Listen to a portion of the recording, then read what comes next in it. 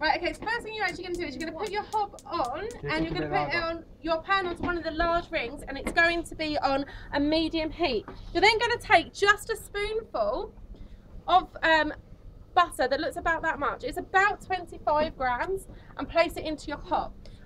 You're going to melt the butter down as we did before when we did our white sauce. Now, you don't need to stir it, but you can lift the pan up to make sure it doesn't burn too much. Once it's started to melt, what you're going to do is take a spoonful of your plain flour and add it into your sauce. Using your wooden spoon, you are then going to mix it together. Now you're going to do this whilst it's still on the heat. What you're trying to do is create what? Can we remember?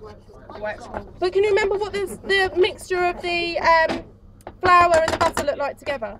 It was quite thick. It was a paste, wasn't it?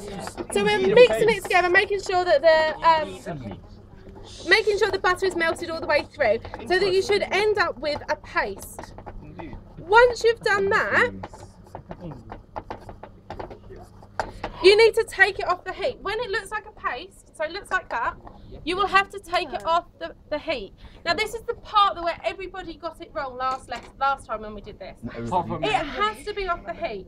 It has to be off the heat before we add in the milk. Now the milk, I'm going to leave that on because I'm going to need to leave it on. Um, I'm going to add the milk in bit by bit. Now what you're going to see is that it's actually going to start to break down the paste and what we're going to do is, is actually end up with quite a thick mixture. Now I'm not going to measure mine out but you should.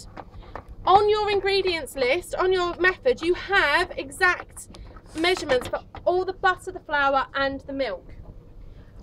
But if you're adding it little bit by little bit, can you see what's happening? So the paste is is basically like, taking oh, it in. It's almost magic. It's almost oh magic. my days, this guy, so moist. Right, okay, let's bring it back. Now, what you want to do is to carry on adding the milk in gradually until you end up with quite um, quite a thin sauce. You add it in gradually so you don't get lumps. If you add it in all in one, I guarantee you will end up with lumpy white sauce, and nobody wants to be chewing on bits of flour. Once you've added in enough milk and you've mixed it, mixed the paste in, it should look something like that. When it looks like that, what you need to do is to put it back onto the heat and bring it to a boil. Now, what does the boil look like? Bubbling. Bubble. That simmer uh, big bubbles. Large bubbles breaking the surface, a big bubbles breaking the surface. Once it's been brought to the boil, you'll need to give it a good stir and then bring it down to a simmer so small bubbles are breaking the surface. And that's how you make your white sauce.